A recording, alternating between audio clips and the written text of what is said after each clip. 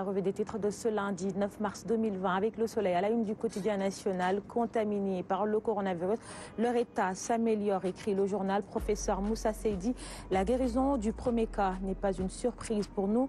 Aucun cas enregistré depuis cinq jours également à la une du soleil.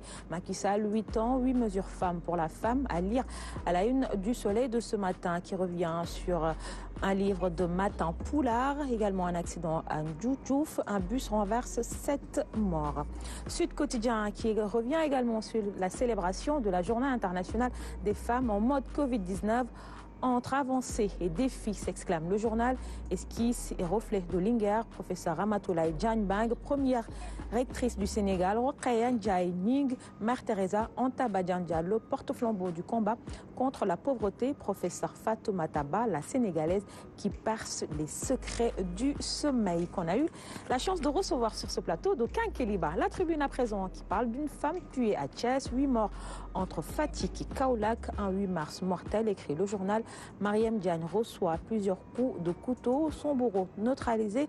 Quatre femmes meurent sur la route de Fatigue.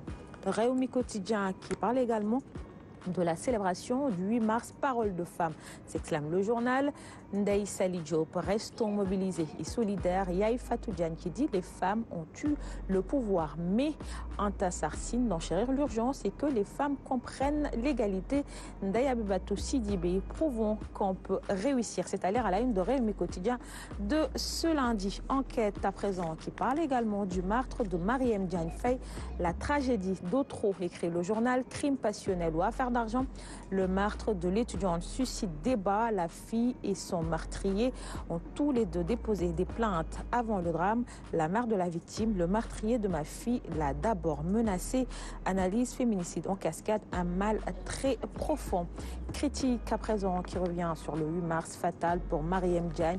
Meurtre crapuleux ou crime passionnel s'interroge le journal. 17 coups de couteau sur son ex. La calme la calmie n'a pas duré le temps d'une rose alors que la spirale de la violence commençait à épargner les femmes que symboliquement depuis le populaire quartier Medinafal de Chess, un maniaque vers sa folie sur une proie facile, 17 coups de couteau sur le coffret de Mariam Diagne, étudiante de 25 ans en DUT de BTP Génie civil à l'Institut universitaire de technologie à l'université de Chess la veille du 8 mars. Le monstre est encore bien vivant, on peut lire à la une du quotidien critique Vox Populi. À qui revient également sur le meurtre au quartier Medinafal de Thiès. Hassan Gay plante 17 coups de couteau à Mariam Diagne. Mariée, l'étudiante en génie civil était enceinte. Le meurtrier sauvé du lynchage à mort par la police. Sorna Ndiaye, mère d'Hassan Gay, qui dit Mon fils a des troubles psychiques. J'avais même dit à Mariam Diagne de le laisser. Libération à présent qui revient également sur Thiès. Hassan Gay avait juré de tuer Mariam Diagne si elle se mariait avec un autre. La sanglante confession d'un assassin, titre Libération. Je l'aimais à la folie, je l'avais dit que je la tuerais avec si elle se mariait avec un autre et c'est ce que j'ai fait, c'est-à-dire à la une du quotidien Libération de ce lundi. Les quotidiens à présent qui parlent de toute autre chose, recouvrement des biens mal acquis, Karim gagne sur le rocher. Écrit le journal, l'État débouté une seconde fois à Monaco.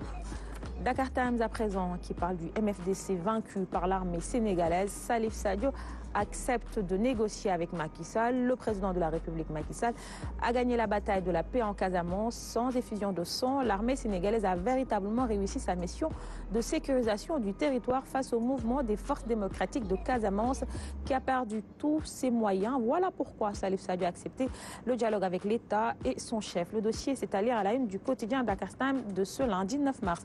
On termine avec les quotidiens sportifs Stade pour démarrer. Premier Ligue, record d'investibilité à demi Liverpool s'en remet à Sadio.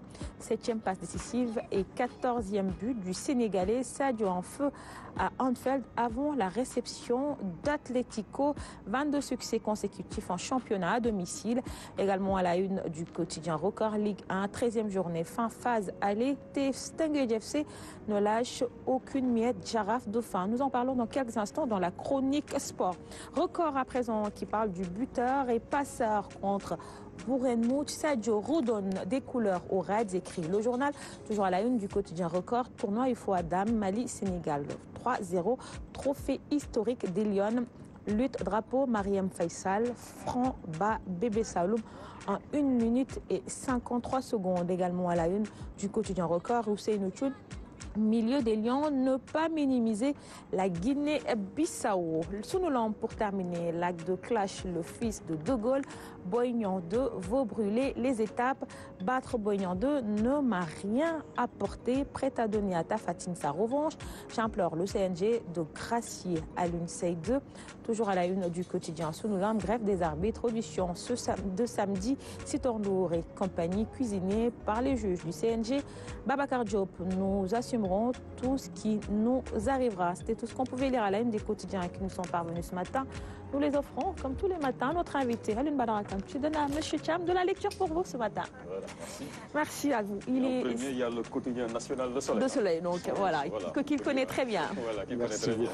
Il est 6h50 minutes, donc ce matin, vous l'aurez compris, le menu est complet. On parlera d'endométriose, boss du net et des conséquences de l'économie sur l'économie de l'épidémie d'Ebola, également du nouveau magazine Business News Africa. Mais avant cela, voici la chronique sport.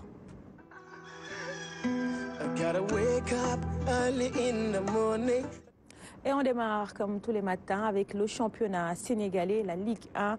Donc les résultats sous forme de tableau qu'on va voir dans quelques instants. Donc